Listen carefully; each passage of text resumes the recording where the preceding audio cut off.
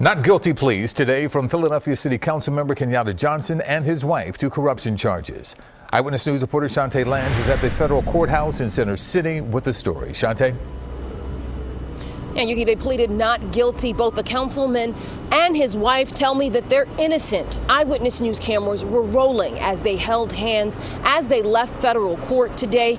They again are saying that they are not guilty of this. That's what they pleaded not guilty to two counts each of honest services wire fraud. The councilman and his wife consultant, Dawn Chavous, surrendered to authorities earlier today. Johnson, who represents South Philadelphia in the city's second district, was named in a 22 count indictment alleging a wide range racketeering conspiracy that included bribery, fraud, and tax offenses. Now, federal prosecutors say the councilman and his wife are accused of allegedly accepting bribes of more than $66,000 from two business executives with a company called Universal.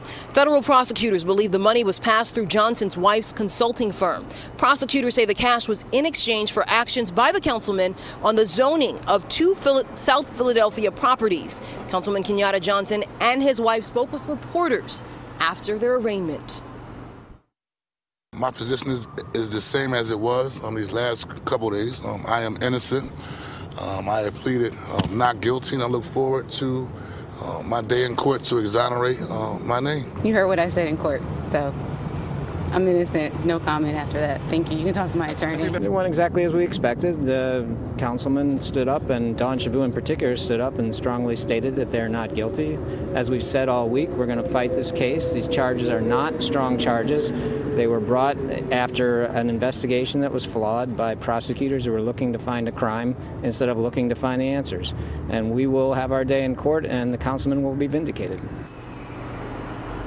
and bail was set for both the councilman and his wife at $15,000 each. They were released on their own personal recognizance. Live outside of the federal courthouse in Philadelphia, Chantee Lans, CBS 3 Eyewitness News. Chantee, thank you. We